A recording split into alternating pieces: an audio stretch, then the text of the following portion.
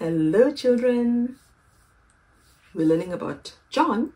John had a very, very important job to get people ready for Jesus. Hmm. John was out in the wilderness telling people, what did he tell them? Re repent. Yes, he was telling them to change and become good. Lots of people came and he told them how to change. They wanted to know, they wanted to become good. And when they wanted to get a new heart, a good heart, they had to go into the water and be baptized. That showed that when they were going in, they were going to go down under the water like they did. When people are dead, they usually get buried under the ground and then you can't see them. So, during a baptism, people get put under the water like they're dead. But what it really means is they are dead to sin. When someone is dead, can they talk? No. When someone is dead, if I start hitting them, wake up, wake up, and I hit them hard, will they feel me? No, they're dead. They won't feel anything. Even if I smack them, they won't feel anything. I felt that because I'm alive. But if I was dead, I wouldn't feel that. I would be dead to feeling. I wouldn't be able to feel. So when you get baptized, when they put the person under the water, it's they, they are saying, I want to be dead to sin. So when sin says, hey, it's time to go and steal, will they steal? No, they won't hear. They will be dead. When sin says, Mm-mm, I don't want you to share, you will say, Mm-mm, selfishness.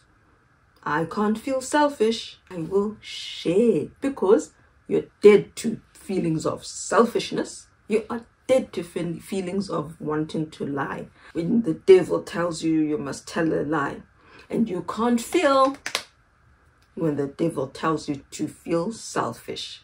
So the person goes under the water and they're dead to all the bad things and they wake up and they are new and clean. The water has washed away, wash, wash, wash, all sin. God has helped them.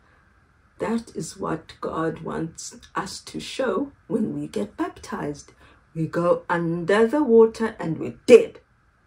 And then we come up and we are new and clean. No more dirty sin.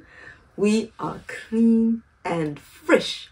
And we have a new living heart from who? From Jesus. And you know, children, you don't have to wait to be baptized. You can get a good, clean heart now. It's never too early to ask Jesus to help you to be dead to sin. No, dead to selfishness and dead to lying and dead to anything else Mr. Satan tells you. So that's what the people were doing. They were coming to be baptized so they can wash, wash, wash, wash, wash, scrub away all the bad things and become good. Was Jesus bad or good? Jesus was good. Do you know? People, they thought maybe John was Jesus. They thought maybe John is the Messiah. He's so good. He never does anything unkind. And he keeps telling us to read our Bibles. Is he Jesus? So John said, The Savior is coming. I'm not the Savior. He is very, very good. I'm not as good as him. He will come. I baptize you in water. Jesus will come and he'll baptize you with the Holy Spirit. And you know, children, the Holy Spirit is what helps you to remember to be good. Satan will say, mm, I want you to go and steal Anna's pencil.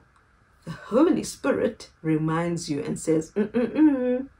Lily, remember? Tiana, remember? Tamika, remember? You have a good, clean heart. You're not going to steal anymore. He who believes and is baptized will be saved, will be saved. But he who does not believe will be condemned. Mark 16, verse 16.